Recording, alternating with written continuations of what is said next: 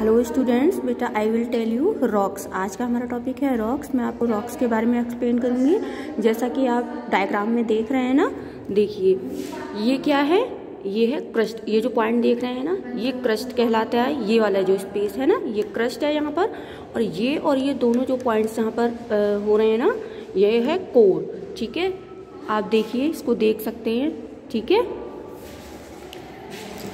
Our earth is made up of rocks and minerals. हमारी जो अर्थ है, वो किससे मिलकर बनी है?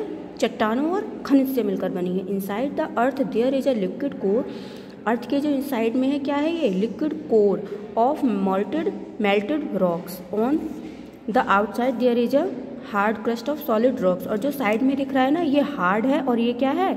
Liquid all rocks are made up of two more minerals सारी जो चट्टाने हैं, वो दो या दो से अधिक खनिज से मिलकर बनी होती हैं। They can be of different types ये विभिन्न प्रकार की होती हैं, जैसे granite granite is a hard rock ये आप देख रहे हैं ना डायग्राम में, ये बहुत हार्ड है, कठोर है।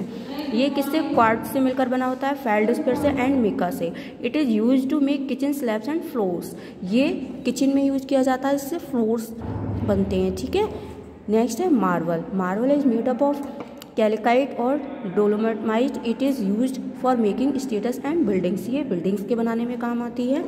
डायमंड सभी ने नाम सुना होगा। देखिए, ये इस तरीके का दिखता है। Diamond is the hardest rock on the earth पृथ्वी पर यह बहुत ही कठोर चट्टान कहलाती है, ठीक है? जिसको क्या बोलते हैं? डायमंड बोलते हैं। It is use to make jewellery इसका उपयोग ज्वेलरी या गहना बनाने में किया जाता है। Okay students